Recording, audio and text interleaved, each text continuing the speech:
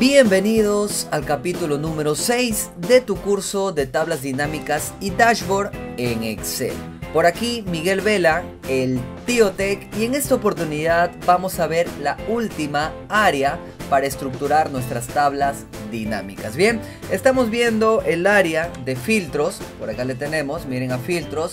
En los capítulos anteriores nosotros ya vimos columnas, ya vimos filas, ya vimos valores. Hasta filtros, terminando este capítulo, eh, se podría decir que ya conocemos la base eh, de todo o todas las tablas dinámicas, ¿ok? Esto en realidad es básico, eh, pero de aquí en adelante ya vamos a ver configuraciones más avanzadas para tablas dinámicas. Y luego vamos a seguir con los gráficos dinámicos para luego construir nuestro dashboard. Bien, a medida que nosotros vamos, por ejemplo, agregando nuestros, nuestros diferentes campos, eh, tanto a columnas y filas, las tablas dinámicas se podría decir que se hacen un poco más complejas de analizar.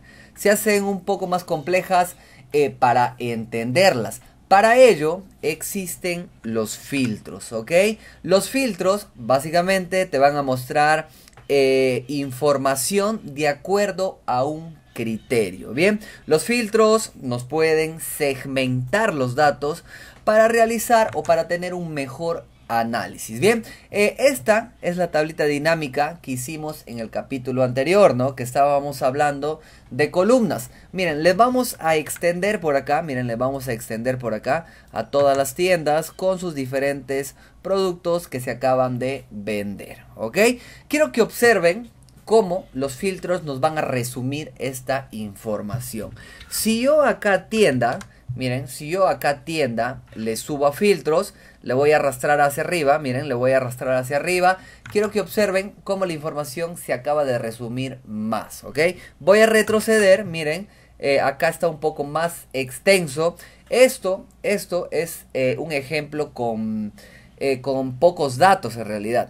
Pero si, eh, si, si tendríamos una, una, base de datos con muchísimos más registros, créanme que esta información sería más extensa y un poco más tediosa de analizar, ¿no? Para eso están los filtros. Entonces, si ponemos las tiendas arriba, quiero que observen que la información se resume más, pero acá están mis criterios. Acá está mi filtro, donde dice tienda arriba, miren acá, donde dice todas, le das un clic y tú puedes ahora mostrar, puedes segmentar de acuerdo al criterio que quieras. Por ejemplo, si yo quisiera ver solamente eh, qué productos se han vendido en la tienda A, le doy a aceptar. Y miren, solamente ahora, solamente ahora me está mostrando los productos de la tienda A. Nuevamente, le doy un clic acá. Y si yo quisiera no solamente ver los productos de la tienda A, quisiera ver también de la tienda B. Miren, le doy acá donde dice abajo, marco, marco donde dice seleccionar varios elementos, un clic y eh, podría seleccionar tienda A, tienda B, eh, tienda C de repente y acepto. Y nuevamente, eh, ahora sí tengo varios criterios. Estoy mostrando la información de la tienda A, B y C.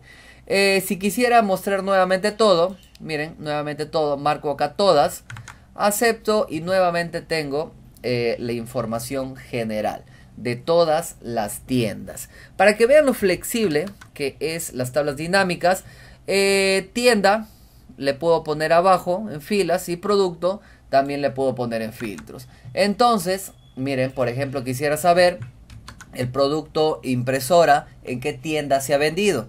Selecciono, acepto y miren, el producto impresora se ha vendido en tienda A, tienda B y tienda C.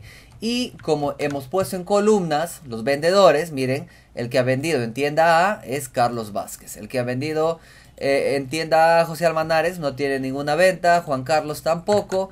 Y así sucesivamente. Tenemos el total general. Y abajo también tenemos el total general por vendedor y por tienda, ¿ok? Total general por tienda y por vendedor. Bien, eh, y no solamente, no solamente podríamos poner un filtro.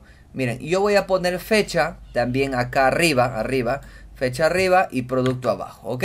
Eh, vamos a poner, vamos a poner la tienda arriba para que nos filtre por tienda y en filas nos muestra los productos, ¿ok?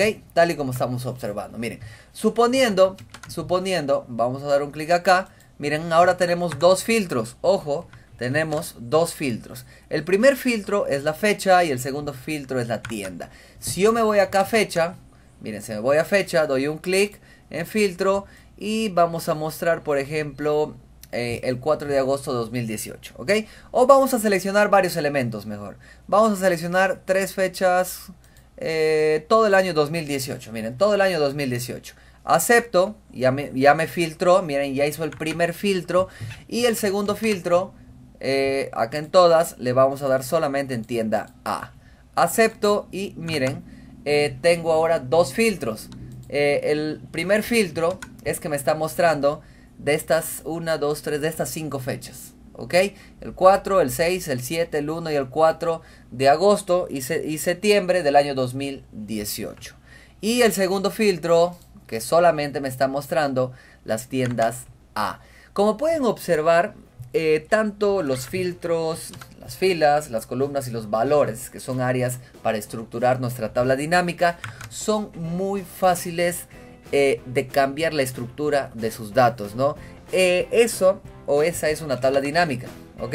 Eh, tiene una flexibilidad enorme y no es necesario que pongas ninguna fórmula y ya te hizo muchísimos cálculos. Bien, nos vamos a quedar hasta este punto. como les había comentado, esto es lo básico de acá en adelante ya vamos a profundizar un poquito más con diferentes configuraciones que les va a ayudar muchísimo. Bien, eh, puedes comentar ese video como digo siempre para poder ayudarte y no te olvides eh, de suscribirte a tu canal El Tío Tech. Nos vemos en el próximo video.